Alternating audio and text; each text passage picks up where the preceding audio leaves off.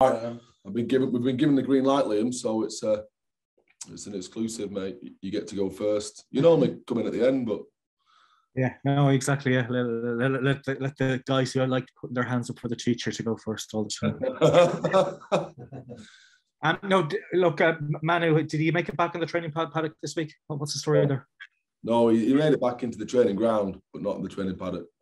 But he should be training next week. Um, I touched base with England, and we'll, we'll make the call on that over the weekend. That was the that was the conversation I had with Richard Hill, who's the team manager. So we'll we'll see how it goes back end of this week, and uh, yeah, then it'll be it'll be England's call at the end of the day because technically he's their player, isn't he, at this point. So, so are you suggesting that he could, could be called straight back into the England camp for the game next week? Yeah, who knows? Yeah, he could. Who knows? He could. Okay. Yeah. Any, update on how he's feeling? I mean, what's his mood like this week? Given he's going to take an extra an extra rest week, so to speak, to make sure it's right. Yeah, eternally positive. He's like really smiley as it always is.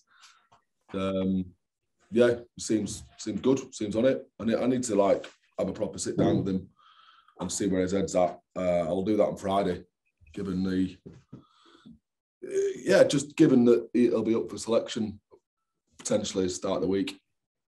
Okay, fingers crossed it will all go well for him. Um, you, last weekend you, you had a number of players taken off in, in that game against Exeter. What, what, was that like, just having to manage all that on, on the touchline when you're losing players like that out of the blue? You don't. You, injuries are part of the game, but like to, to have to happen like that, you know what I'm saying, in a big match against Exeter. Just what was that like uh, on, on the sideline? You know. Um. Yeah, it was it was hectic, wasn't it? It was really. Uh, you uh, you're just putting out fires, aren't you? Because we yeah, it was you go in with a plan, you go in the plan for the replacements and people you know who, who may be carrying little niggles or whatever, who've been fatigued in the week or been carrying the sniffles, as I said pre-game. Um, and then for, for those things to happen, like everyone's got a plan until the first shots fired. It it just went out the window, and we were trying to just uh, manage collateral damage. Um, we we I'm not making excuses. We we had a few ill people last week. Um, we went into the game not having not really been the best of them, having prepped well enough or being at top form. And then when you do that, particularly a team like ourselves that rely on physicality and being on the front foot, you tend to come off second best in the collisions, which we did in that first half. When you come off second best in collisions in a game that physicality, then you get the odd head, head knock. So I think there was a, a like a perfect storm, a culmination of a little bit of sniffles, not being quite there, and then um, taking those hits, which would normally be on the front foot, were on the back foot, um, which resulted in kind of three HIAs and uh, hookers playing in the back row for the for the second half. But we made do, and I was pretty proud of their efforts yeah, there's a lot, a lot of talk at the moment, like Tomas Francis going playing for um, Wales on Friday night about, about HIAs and concussion and the whole lot. I mean, you, you, you, you'd be immensely pleased with how he handled your situations last, last Sunday, and everybody's in, in, in was taking best best best of care. You know, and everyone everyone's fine going forward here. That should yeah. be, be a debate over how they were handled, etc., and the whole lot. That everything was thumbs up. You know. Yeah, I was asked that recently. Like, are you happy with how it's how it's been handled? I think I am at the moment. Everyone's passing the tests. There's no like lingering effects, which means they were looked after as best they could.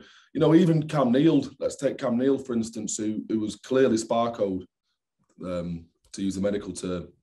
Uh, he, uh, he he passed his HIA straight after the game.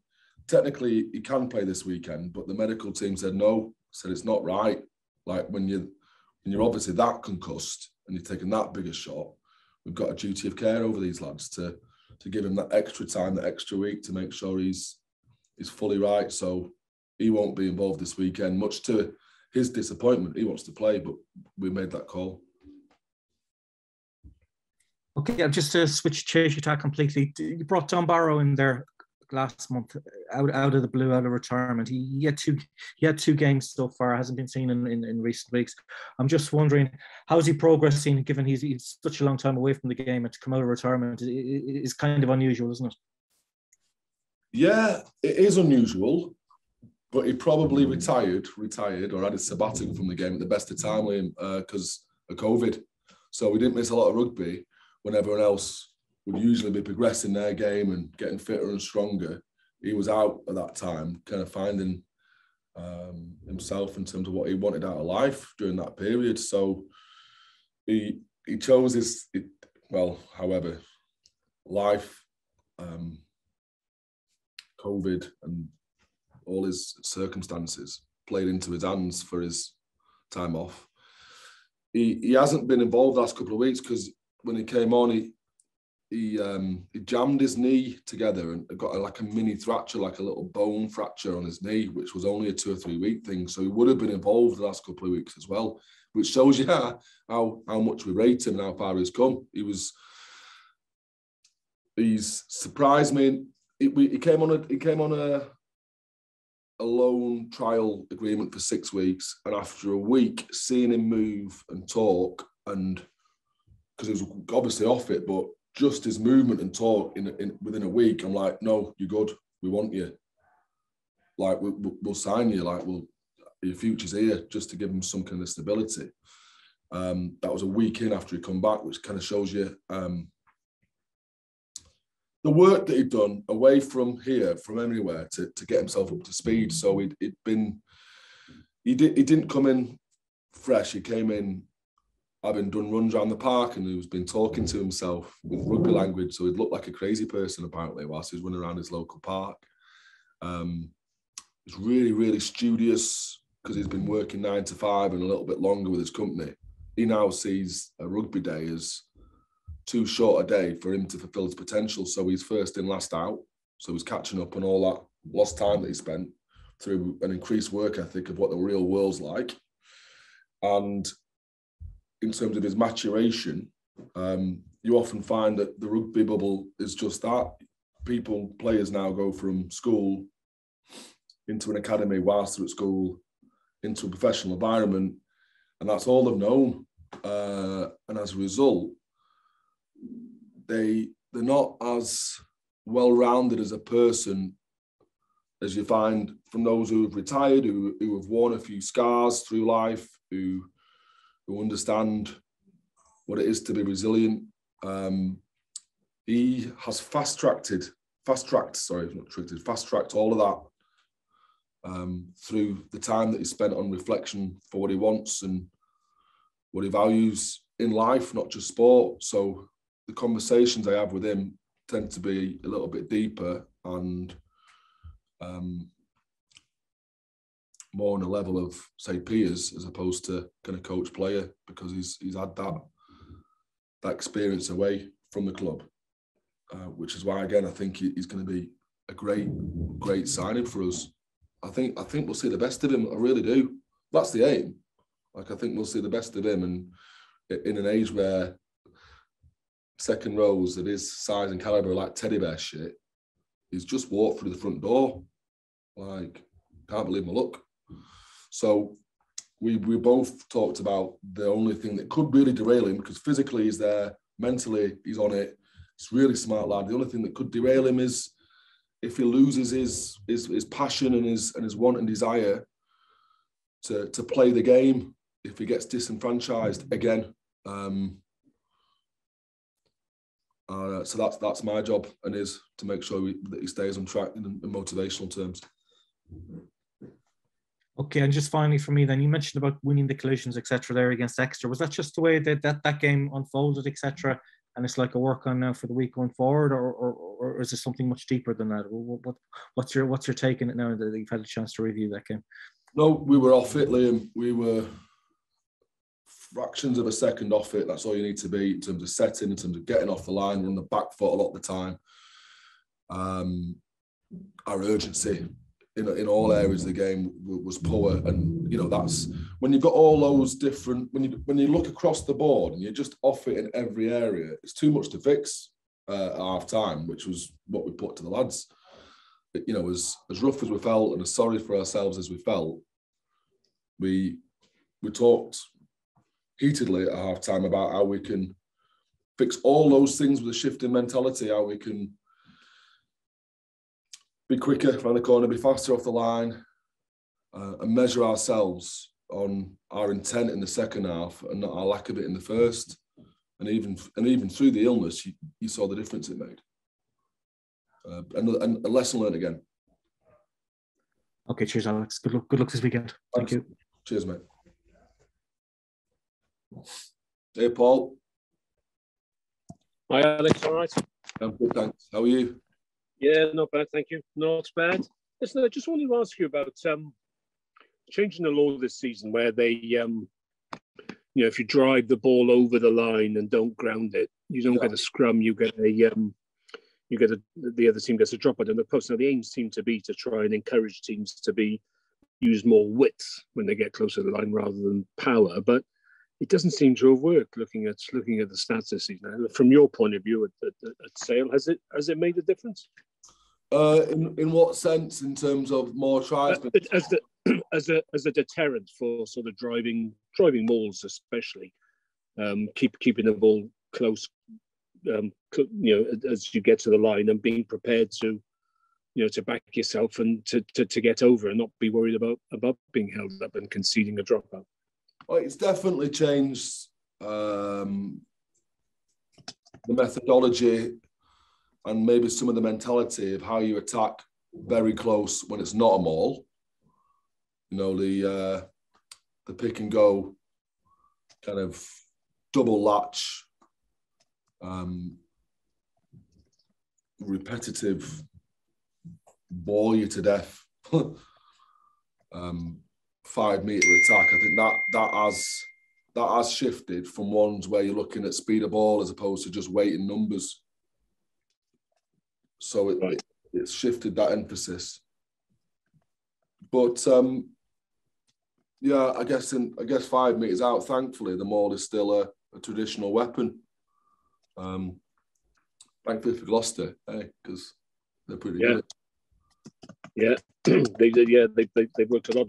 So so because you know it's almost sort of um, the same time as that they introduced the 50-22, which encourages you to to to to bounce the ball into touch and your opponent's 22 and you get a you get a line out, which is almost encouraging you to to go for the ball and drive for the line. The what? The 50-22? Yeah. So, so so at the same time as they yeah they, if you get held up you can see the dropper. They were 50-22, which is almost sort of encouraging you to kick for touch and then drive a line out.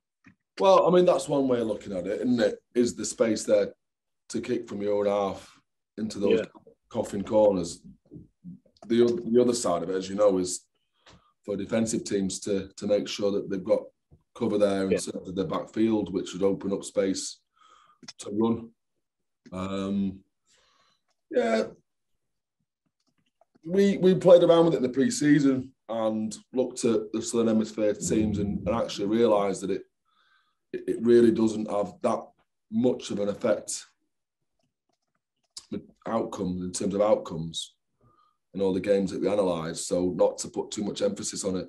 We don't put too much emphasis on it the, from a training yeah. perspective. Yeah. So so so in that sense, not an awful lot has changed. Yes. Yeah, because because again, you know, there, there are there are still lots of tries being being scored from close range. You still the probability sways towards teams who spend more time in opposition 22 and the outcomes that come off the back of that they, that that's still by far and away the best play the best way to exploit possession in terms of where where you play. Um it, like I say, it's had a it's had a greater effect on some teams who, who use that method of just a pick and go to a scrum if you get held up to a pick and go to a scrum uh, it has had a it's had a bigger effect on some of those teams in the premiership to change the methodology. Do you think it might have made more of a difference if the dropout had been a 22 dropout rather than under the posts because in, in effect you're getting the ball back instead instead of a five meter scrum you're getting probably 35 40 meters out but yeah, it's, it's, a good look. It's a good attacking position, especially if you get quick ball. You know, like kind of twenty meters in from touch, and you can open up that blind side. It's a good vantage point. Not if it was twenty-two, no, because oh, you mean yeah, yeah, I get what you're saying. Yeah, the more the more likely to, to, to zing it wide. Yeah, Yeah. But then you, then any kind of attacking advantage is is waylaid, isn't it? By yeah, by the fact that if you do get held up or you knock it on, you, are back around the halfway line. I think that there's, yeah. there's some element of rugby which I do appreciate the sustained pressure that you're able to do, that you're able to um, put on a team through camping, if you like, in a, in a, in a certain area. It's just how you use the ball for entertainment's sake. Um, yeah. I think is, um, is is is what needs to be looked at. Yeah, because because they, they, I mean, the way they justified it was, I mean, you got the entertainment factor, but also the safety factor that they're trying to, with concussion, with all the, you know, a lot of them coming through, you know, the increased number of rocks over the years, trying to, if you get it a bit wider away from from that sort of bashing contact, it might make it a safer game. Is that is that the right way to approach law changes? Oh, we're getting into a minefield there. I need to know the biomechanics of where most of the concussions are caused because mm-hmm. obviously increased contact, increased risk, increased chance, but it's the, it's the it's the nature of that contact. And when when you're looking at those pick and go drives and everything's close quarters, uh, as opposed to when you get people swinging around the tackle and people stepping and, and altering body height and people diving for tackles and putting arms out, it, it, might be that there's an increased risk from those types of collisions as opposed to yeah. ones which are closer on the gain line, whether you have less acceleration, there's actually less in, less impact. It's more about weight, isn't it? And body height, yeah. those closer contacts as it is to uh, the spaces and the uh, and the acceleration and the speed at which you, you engage into contact in the wider channels. So yeah, it, that's an interesting debate and probably something they should look into, I guess. It is, yeah, because I mean, a number of the recent red cards have, have been out wide. I mean, the Lager, the Bristol Wings picked up a couple in the, in the in the last few weeks. So what you're saying there sort of bears that out. Yeah, because it's just, it's just more difficult to drop your body out um, when you go in full speed. To, to yeah. you, you know, you, you're certainly not as in control as you would be if it was a a square collision where you're head on and you're already starting from a low position, which you would be on a on a pick and go or, or, or something off nine. Yeah. Brilliant. Thank you, Alex. Cheers, Paul. Good luck on the weekend. Oh, thank you. Yeah, we could do with this one. That's us, lads. That's us.